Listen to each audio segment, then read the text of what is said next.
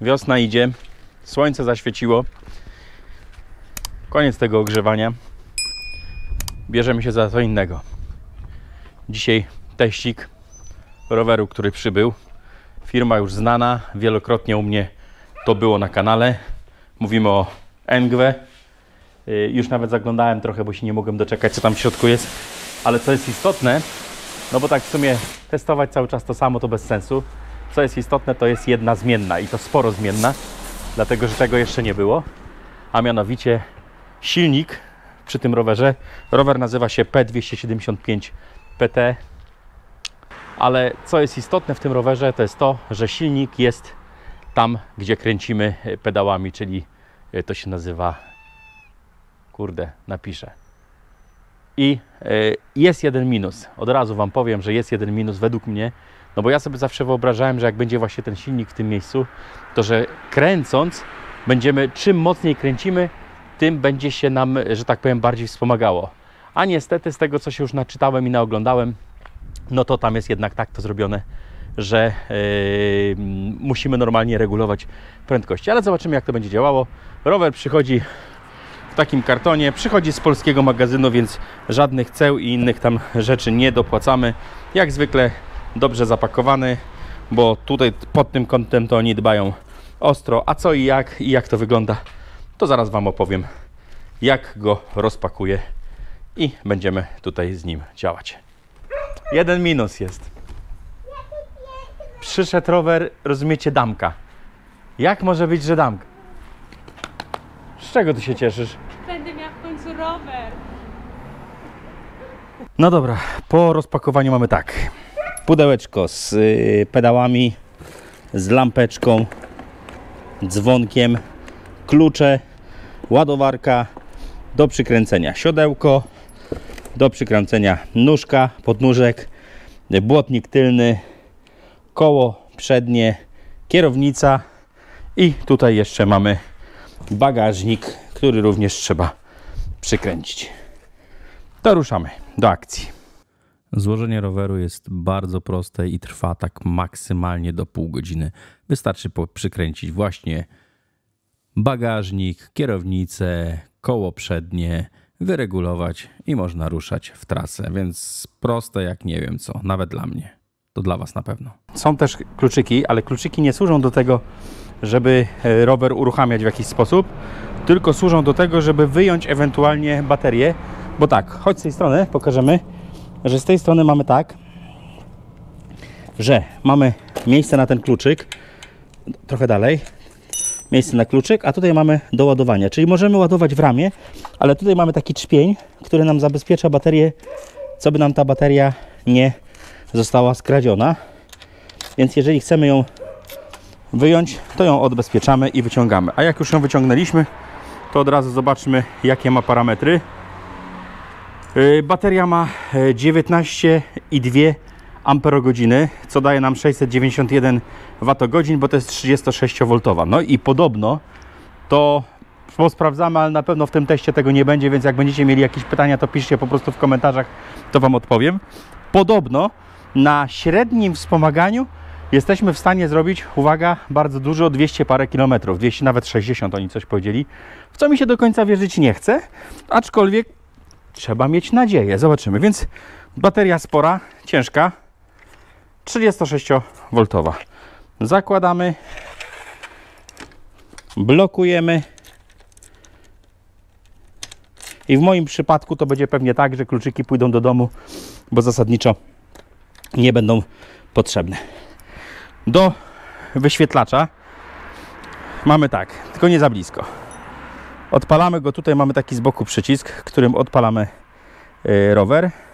Poczekaj, przetrę trochę wyświetlacz, żeby był czyściutki. No i tak, na razie rozkminiłem tylko.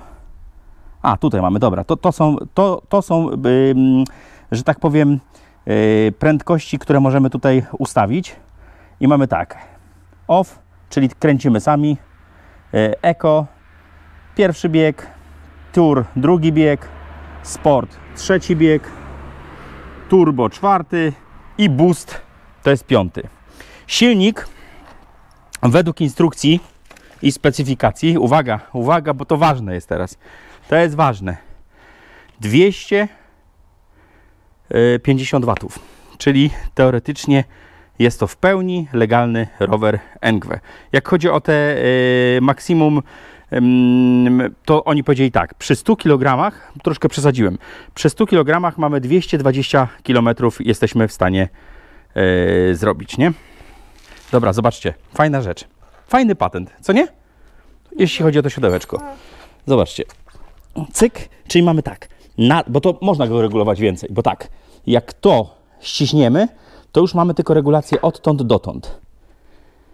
Możemy to regulować, ale jeśli chcemy, żeby była większa regulacja, to po prostu wysuwamy sobie, tutaj rozkręcamy tym imbusikiem, wysuwamy wyżej siodełko i mamy to ogarnięte w taki sposób.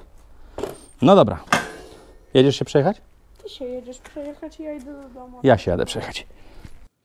Wygląd jest naprawdę bardzo ciekawy, ale to musi się podobać każdemu z osobna, więc ciężko powiedzieć o nim. Y, Mogę powiedzieć tak, jeśli chodzi o hamulce, to mamy hamulce tarczowe, hydrauliczne.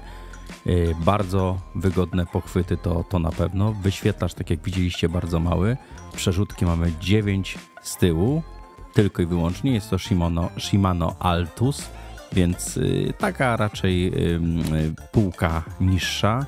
Rower nazywa się P275 ST i to jest damka. Jeżeli jest nie damka, to jest drugi po prostu model, który możemy sobie wybrać. Fajną rzeczą i bardzo istotną wydaje mi się jest to, że jeżeli jeździmy y, bez wspomagania, to jeździmy tak jakbyśmy jechali zwykłym rowerem, nie mamy zupełnie obciążenia. Zobaczcie też jak fajnie jest zamontowana lampka. Mały minus za to, że mogłaby być zasilana po prostu z y, roweru. Jeśli chodzi o ładowanie baterii, możemy naładować ją w rowerze, możemy ją naładować y, po wyjęciu. Tutaj mamy możliwość podłączenia pod tą taką mm, gumową klapką. Silnik y, na środku, więc y, troszeczkę inne odczucia jazdy, ale mi się to podoba bardzo. Jeśli chodzi o y, wygodę jazdy, jest w porządku, mógłby być bardziej amortyzowany. Nie jest, ale nie jest jakoś bardzo przeszkadzające. Prezentuje się, myślę, że dobrze, chociaż nie wiem, czy to nie dlatego, że moja córka jedzie na, na rowerze i dlatego tak dobrze się prezentuje, ale jest to naprawdę bardzo fajny i wygodny rower, tego nie można mu zarzucić. Nie wiem, jak będzie z tą lampką przednią, jak będziemy jechali, no bo jednak ona świeci nam do przodu, a my jak skręcamy, więc ona świeci jakby przed nami, ale naprawdę powiem Wam jedną rzecz istotną.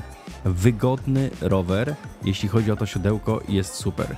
Maksymalna prędkość, którą y, udało mi się osiągnąć, to jest około 26. Oczywiście nie mówię o tym, żeby kręcić jakoś niesamowicie mocno i osiągnąć więcej, bo pewnie dałbym radę bez żadnego problemu, tylko mówię o takim ze wspomaganiem, z najwyższym biegiem, więc mamy legalny rower od Engwe, jeśli byście byli nim zainteresowani. Dla kogo ten rower mógłby być, jeśli chodzi o wzrost? Myślę, że zdecydowanie tutaj mamy mm, około 1,65-70 m moja córka, ale na spokojnie można byłoby jakieś takie 1,75 m, 1,80 m.